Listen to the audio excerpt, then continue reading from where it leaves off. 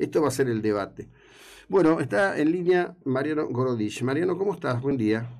Hola, buen día. ¿Cómo estás? Hay que ver cómo reaccionan hoy los mercados ante esto, ¿no? Eh, ante Cristina víctima. Vamos para atrás, me parece, ¿no? Porque además esto del feriado, que es un disparate total y absoluto, le, le quita más seriedad a todo, definitivamente, ¿no? Eh, la pregunta es eh, si le hubieran hecho lo mismo a, este, no sé, a, eh, a Gabriela Michetti en su momento, que era la vicepresidenta de Macri, ¿qué hubiera pasado? No, lo hubieran salido a celebrar, no tengo duda de eso. ¿Hubiera sido feriado también? No creo. Bueno, vos fíjate, acá en Mar del Plata... O, que hubieran dicho los peronistas, ¿no? Este, si hubieran declarado Totalmente.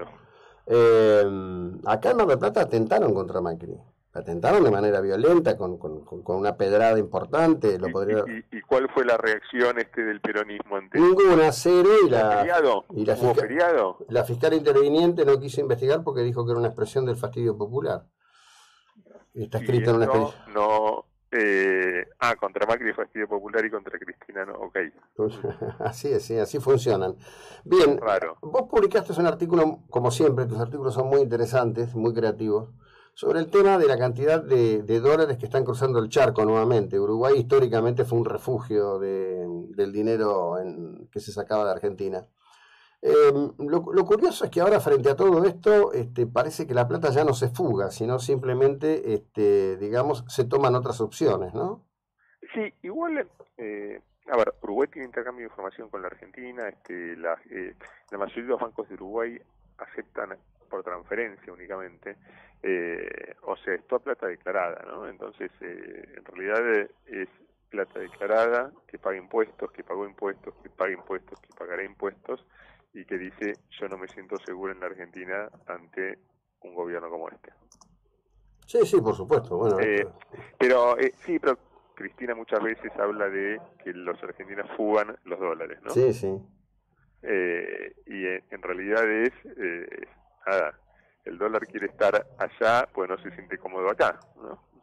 Bueno, además hay, hay, hay un tema, este, en líneas generales los, los que hablan de economía en público son muy cuidadosos, nadie quiere ser responsable de una corrida, pero el dato es que el gobierno estaría usando parte del encaje de los bancos para ir paliando la falta de dólares en el tema de, de importaciones, básicamente. Eh, no, no, no, ese es un dato erróneo. ¿eh? ¿Sí? Eh, a ver, yo soy muy crítico con este gobierno, este, pero es información, ¿no? Sí, sí. Eh, usando el, el swap con China, ¿sí? El, el, intercambio este que tiene con China, que le cuesta usarlo, ¿no? Le cuesta con un 5% este anual usarlo. Y, y, tiene mucho para usar ahí. Después tiene el oro para vender también, mm. ¿no? Entonces está lejos hoy, por suerte, de de, de, llegar a usar los encajes de los depósitos en los bancos, eh, de todas formas caen, vienen cayendo los depósitos en los bancos, y principalmente porque, a ver, con una inflación en Estados Unidos de casi el 10% anual, ¿eh? si vos dejás la plata en el banco, si esto sigue así por los próximos cinco años, vas a perder la mitad de tu poder adquisitivo en dólares. ¿no? Sí, sí.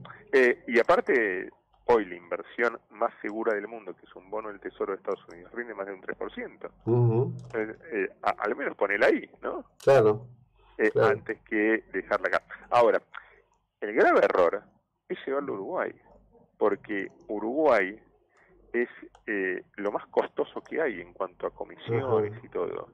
Digo, mucho más barato que Uruguay es Estados Unidos. El novato suele ir a Uruguay. Cuando ve los costos que tiene, Mm. va a Estados Unidos. Claro.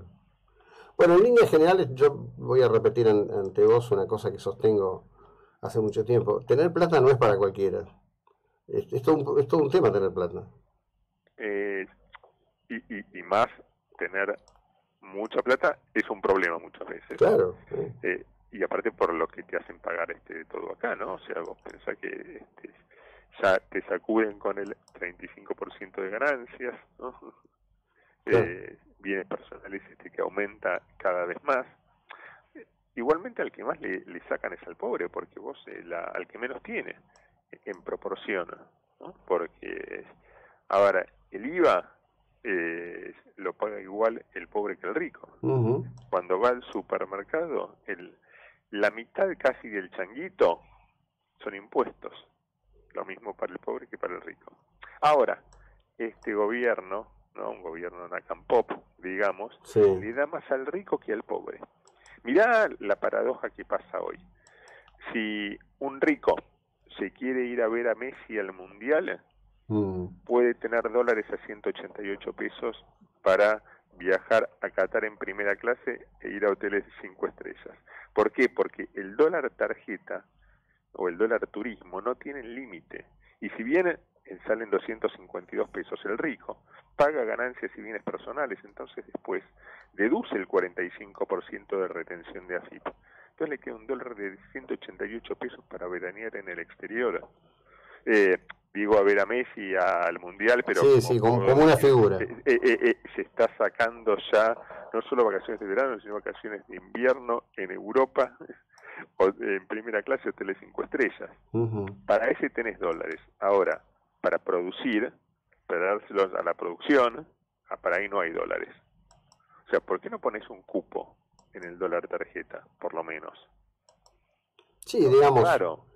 Lo que ocurre es que ahí hay un conjunto de cosas, ¿no? Por ejemplo, la mayor parte de las cadenas de electrodomésticos funcionan con su propio financiamiento a través de, fideicomisos en líneas generales, ¿no? Este, en realidad actúan como, como financieras, digamos. el objetivo aparentemente principal es la venta de electrodomésticos, pero en rigor hay un negocio financiero importante. Exactamente, bueno, como el supermercado. Claro. El supermercado bueno, pero la, la, pregunta... ¿no? pagas enseguida y ellos pagan a 180 días. Bueno, la pregunta es por qué no habilitan un fideicomiso en dólares para pagar viajes al exterior y que el que esté en el negocio se arregle con eso y salga el Estado del medio en un tema que es de los privados. Realmente es absurdo. Hay, eh, hay un, eh, una discusión ahora, recién ahora, en el Banco Central de qué hacer con esto. Sí, subir aún más el precio mm. o si poner un tope con vistas al eh, que noviembre es el mundial. Lo que pasa es que cualquiera de las dos opciones es más cepo al dólar. Y vos cada vez que pones un mayor cepo al dólar, te sube el blue, te sube el dólar bolsa, te sube todo. Entonces, hoy que está como un veranito cambiario, veranito financiero, es decir, mm, mejor hoy no toquemos nada que estamos bien no sabemos mañana lo que puede pasar, igual lo que va a pasar mañana, más precisamente en, eh, en 12 días, cuando este, el INDEC dé a conocer la inflación de julio de un 7%, es que el Banco Central va a subir nuevamente fuerte la tasa de interés de los plazos fijos, unos 500 puntos. Eh, por lo tanto, se van a encarecer más los créditos. Entonces, de vuelta, ¿a quién le conviene esto? Al rico al acomodado que puede poner plata en plazo fijo, eh, a quien eh, lo mata esto, al que pague el mínimo de la tarjeta pues no llega, porque ahí el costo financiero pasa a ser más del 120% anual hoy, antes de esta próxima suba de tasas. Eh, el que tiene que sacar un préstamo personal, porque hoy te cuesta tres veces más por año. La tasa pasó el 200% anual de un banco, ¿eh? no de una financiera, de un banco de primera línea eh, se te va a encarecer el hora 12 también, ¿no? Sí, sí, bueno, la hora 12 ya lo pactaron, calladito la boca ya lo pactaron, le pegaron un manijazo a eso tremendo. Por otro lado, bueno, qué sé yo, está, está, esto está tan desquiciado. Bueno, como siempre, te mando un abrazo y te agradezco mucho, ¿eh? Gracias. Un placer. Viejo. Bueno, Mariano Borodilla, hablamos de estas cosas. Te